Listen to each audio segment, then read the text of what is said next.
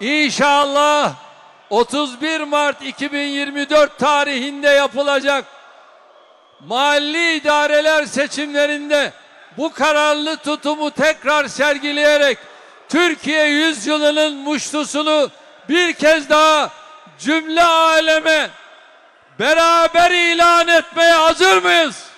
AK Parti 31 Mart 2024'te yapılacak yerel seçimler öncesi olağanüstü kongreye gitti. Cumhurbaşkanı ve AK Parti Genel Başkanı Recep Tayyip Erdoğan kongredeki konuşmasında yerel seçim startını verdiği yeni anayasa vurgusu yaptı. Cumhurla Cumhuriyetin arasındaki duvarları yıktığımız gibi Cumhuriyeti gerçek demokrasiyle kucaklaştıracak sivil, özgürlükçü ve kuşatıcı bir anayasayı inşallah ülkemize kazandıracağız. Terörle mücadelede kararlılık vurgusu yaptı. Terör örgütlerine her zamla karın hesabını misliyle soracağız dedi. terörü kaynağında kurutma.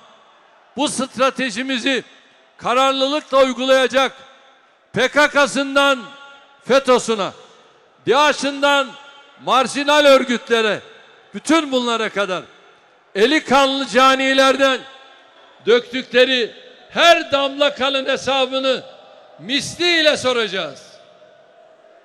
Bir gece ansızın gelebiliriz ikazının vatanımızın bekasına kasteden alçakların yüreklerine saldığı korkuyu hiç eksiltmeyeceğiz.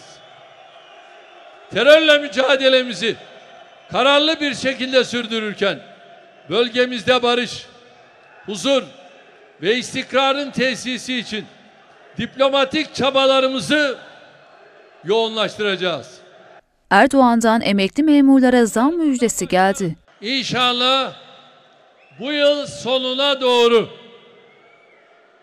özellikle emekli memurlarımızın maaşlarıyla ilgili şu anda bakanlığımız çalışmasını yapıyor ve ilk kabine toplantımızdan sonra yeni müjdemizi de inşallah emekli memurlarımıza açıklayacağız.